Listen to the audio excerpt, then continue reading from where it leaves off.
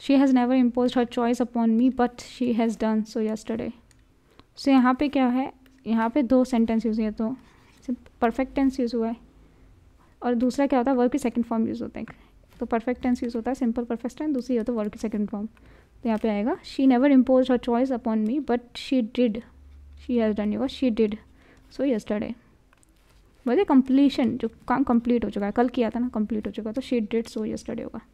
So I haven't seen him since he has left his village तो यहाँ पे haven't seen तो यहाँ पे वर्क की सेकंड फॉर्म आएगी तो I haven't seen him since he left his village verb की सेकंड फॉर्म वाला फॉर्म आएगा we are very happy because he welcome us very hotly hotly नहीं होता वार्मली होगा वार्मली हॉटली कुछ नहीं होता तो यहाँ पे होगा warmly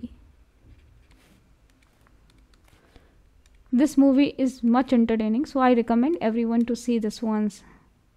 So much entertaining very लगेगा very I N G form much के साथ मच इंटरेस्टेड वेरी इंटरेस्टिंग उसके साथ आई एन जी मच के साथ ई डी वाली form and I N G वाली फॉर्म वेरी के साथ very interest very entertaining then ragas is the wisest enough in his friend circle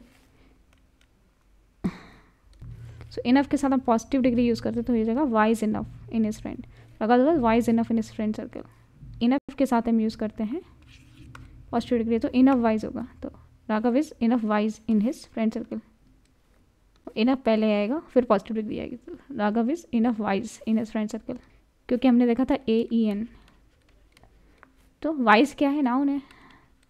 तो नाउन बाद में आएगा तो इनफ वाइज हो जाएगा। इनफ पहले आएगा। एडजेक्टिव के बाद में आता है ना, और नाउन से पहले।